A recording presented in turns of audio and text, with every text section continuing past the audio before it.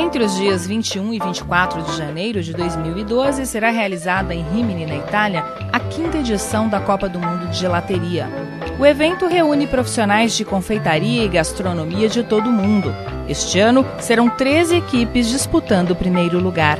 O Brasil será representado por uma equipe de cinco pessoas, entre elas o chefe de confeitaria do Buffet França de São Paulo, Philippe Sofietti. Ele será o responsável por transformar uma barra de gelo de um metro de largura por meio de altura em uma concha.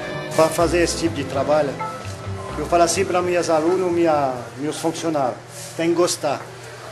Quem não gosta, não faz. Quem não aguenta, ele não vai conseguir fazer um negócio com o coração. Depois de quase duas horas de trabalho, o grande bloco começa a tomar forma.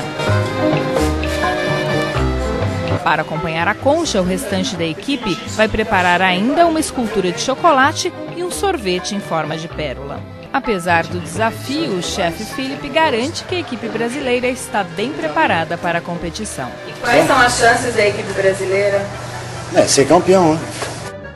Os caras são, pensam que eu sou maluco, mas em algum lugar tem que gostar. E para ir num tipo de competição a gente vai, se a gente não gosta, a gente não chega em lugar nenhum.